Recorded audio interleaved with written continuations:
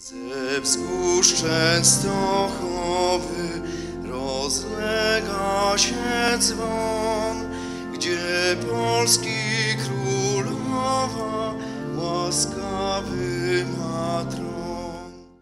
Około 2000 y, osób zginęło w trakcie tej obławy. Y, Wiadomo, że uczestniczyły y, w obławie jednostki NKWD, Smiersza.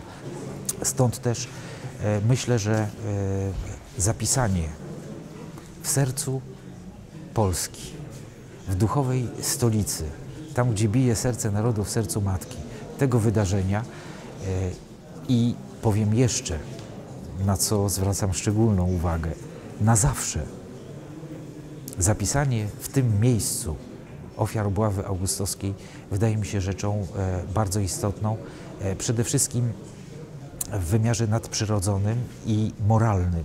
Jestem jako świadek tamtych wydarzeń, bowiem mój ojciec i dwie moje siostry, mój ojciec Ludwik i dwie siostry Aniela i Kazimiera. Aniela mająca 17 lat, ona była w Armii Krajowej Łączniczko w obwodzie mm, suwalskim Armii Krajowej.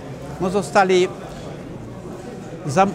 pojmani, zaresztowani i straceni. Pielgrzymie jasnogórski wszystkich czasów, pamiętaj, że wołamy ziemio, nie kryj naszej krwi, iżby nasz krzyk nie ustawał.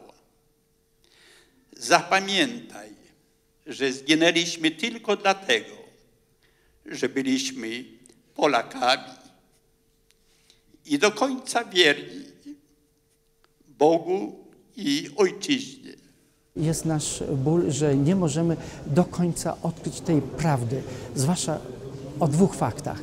Pierwszy fakt, gdzie dokonano miejsca, a więc jakie są miejsca egzekucji i drugi fakt, y, gdzie ich zasypano, do jakich dołów śmierci y, wrzucono, bo to nie są mogiły, bo y, popularnie mówią, gdzie są ich mogiły. To nie są mogiły, im trzeba dopiero pogrzeb katolicki dopiero przygotować i upamiętnić i ich ofiarę omodlić. Chciałbym podkreślić, że Kasa Stywczyka była e, szczególnym e, darczyńcą, e, która e, to fakt przyczynił się do upamiętnienia ofiar właśnie tutaj w Kaplicy Matki Bożej e, na Jasnej Górze. Niech Pan,